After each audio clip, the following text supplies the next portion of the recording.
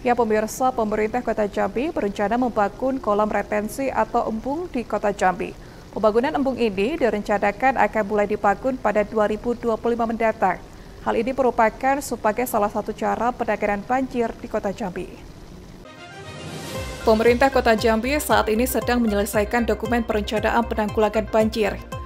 Di badan di dalamnya terdapat rencana pembangunan dua kolam retensi atau embung di Kota Jambi.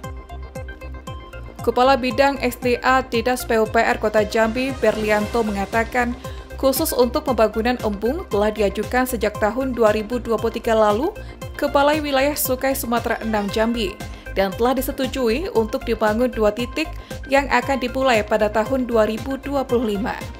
Berlianto mengatakan, untuk pembangunan embung ini, pemerintah kota Jambi hanya menyediakan lahan saja, Sementara untuk pembangunannya sepenuhnya dilakukan oleh pihak Balai Wilayah Sungai Sumatera 6 Jambi.